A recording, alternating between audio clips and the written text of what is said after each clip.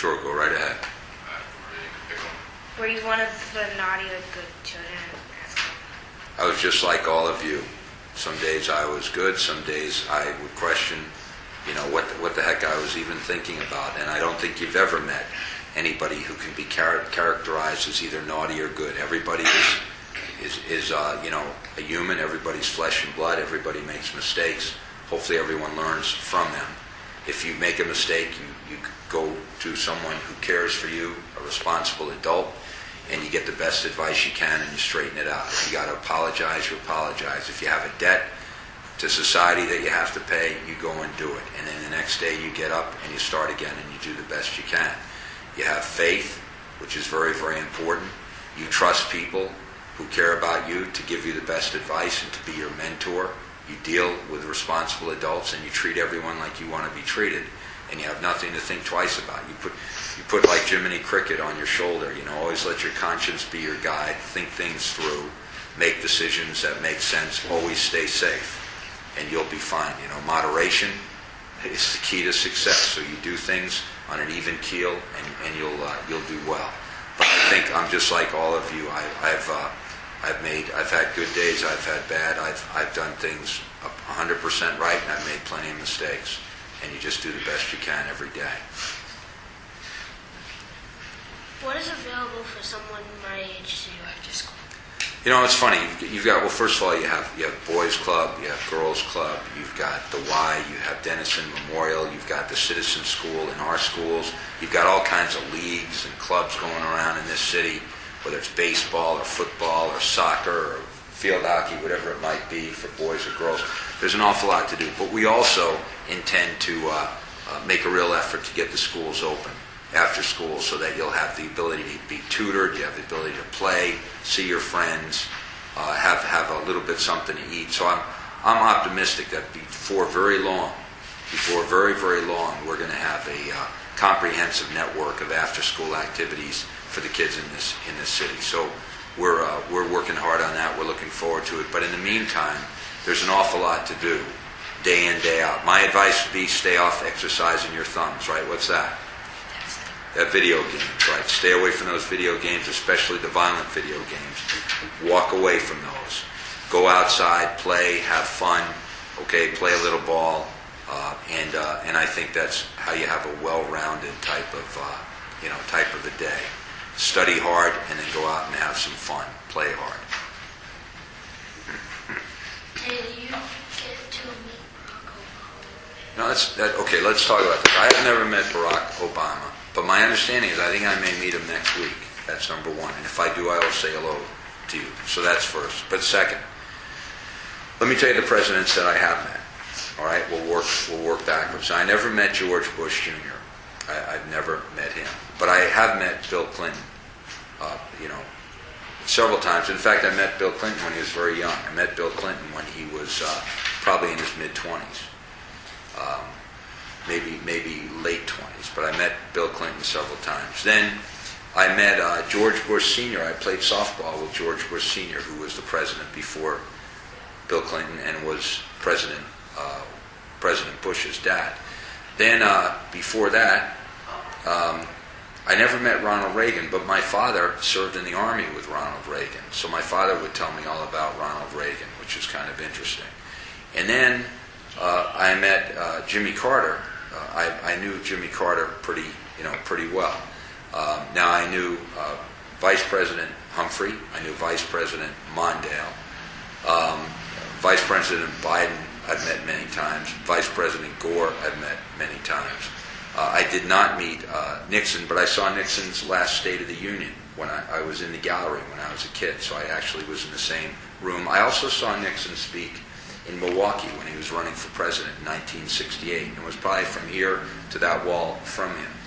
Um, I saw Humphrey speak that year. I also saw Wallace speak that year. Wallace gave a speech in Milwaukee, and I saw Humphrey in Milwaukee also. I never, uh, I, I, never saw, um, I never met John Kennedy, although I'd see him on TV when I was a kid. I never met uh, Robert Kennedy, but I'd see him on TV. I never met uh, President Eisenhower, although I would see him on TV. I used to see Adlai Stevenson on TV. I never met uh, Truman, but I would see him on TV on a regular basis, all when they were alive.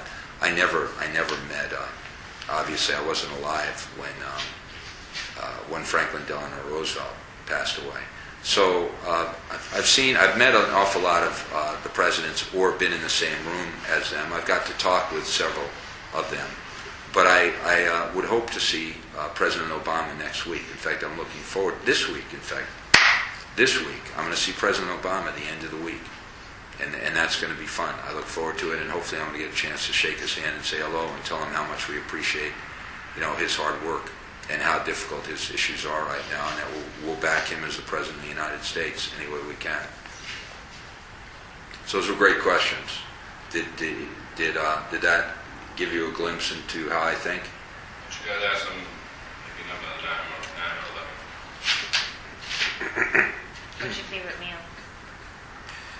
Uh, my well, I have a couple. Chicken uh, chicken pot pie, I love, and especially if it has those little red peppers in it.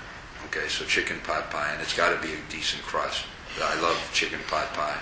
I also love meatloaf. Okay, I'm sorry that I'm not saying like some sort of fancy food, but I love meatloaf with mashed potatoes and gravy and any kind of vegetable, carrots, peas, anything like that. So my two favorites are chicken pot pie or meatloaf. Now I also love soup.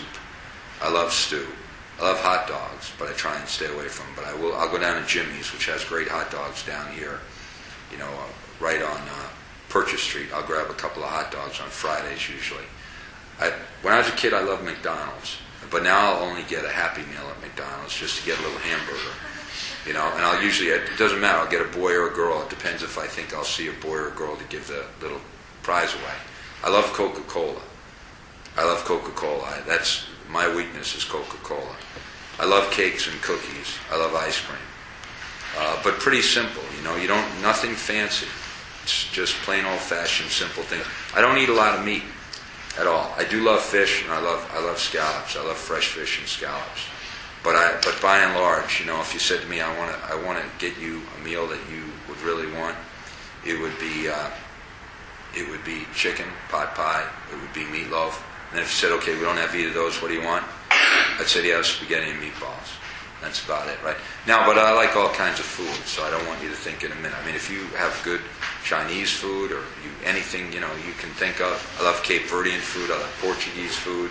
You know, I love macaroni and cheese. But, but the fact of the matter is that if, if you're going to make me something, chicken pot pie or meatloaf. What's what flavor of ice cream do you like? My favorite ice cream is chocolate chip. And my, right now, the chocolate chip I like the best is Brigham's. I think it, reminds me of Howard Johnson's ice cream when I was a kid.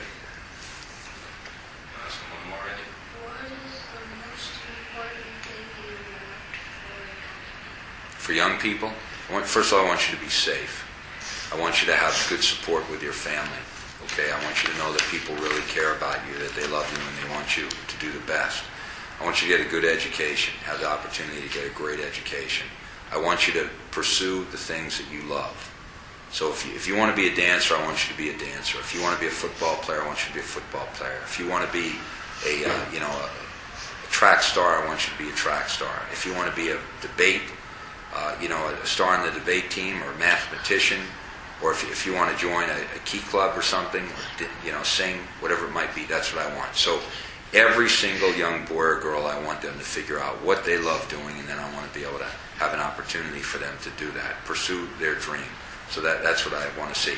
First thing, though, is everybody's got to be safe. That's the first thing, okay? In, in anything you do, whether it's going down the beach, crossing the street, going out to play, everybody's got to be safe.